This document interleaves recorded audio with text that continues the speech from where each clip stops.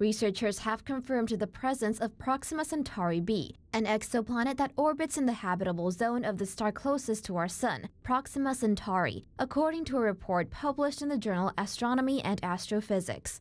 Researchers from the University of Geneva were able to confirm its existence by using a new generation spectrograph located in Chile called ESPRESSO.